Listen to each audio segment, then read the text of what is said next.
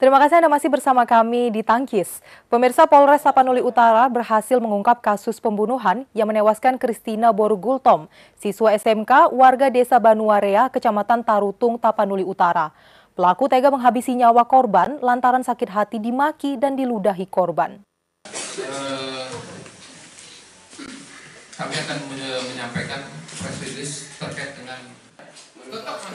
Pelaku pembunuhan siswa SMK yang ditemukan tewas tanpa busana di peladangan Dusun Huta Sitolu-Tolu, Desa Hutapea Banurea Tarutung yang terjadi 5 Agustus lalu, ditangkap kepolisian Polres Tapanuli Utara.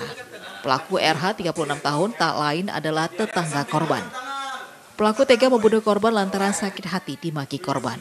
Kejadian berawal saat pelaku melihat korban berjalan kaki, lalu pelaku RH mengajak korban untuk dibonceng, namun ditolak korban. Korban juga melontarkan kata makian kepada pelaku hingga menyulut emosi tersangka, lalu menghabisi nyawa korban.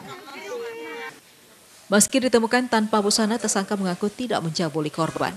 Pihak kepolisian masih menunggu hasil forensik untuk mengetahui apakah korban diperkosa atau tidak. Selain mengamankan sejumlah barang bukti berupa potongan baju korban, satu unit sepeda motor milik pelaku juga diamankan polisi. Tersangka membunuh korban ini karena tersangka itu marah atau mengalami emosi sesaat. Karena saat dia dalam perjalanan bertemu dengan korban diminta untuk digonceng ditolak kemudian korban itu memarahi ya memarahi atau meludahi dan menyampaikan kata-kata yang sedikit kasar. Sehingga itulah yang membuat tersangka itu emosi sehingga turun dari motor ya. Sebelumnya korban Christina Gultom meninggalkan rumah pada minggu pagi. Namun hingga malam hari korban tak kunjung pulang. Keluarga yang khawatir akhirnya bersama warga melakukan pencarian hingga akhirnya korban ditemukan tewas meninggal di peladangan orang tuanya.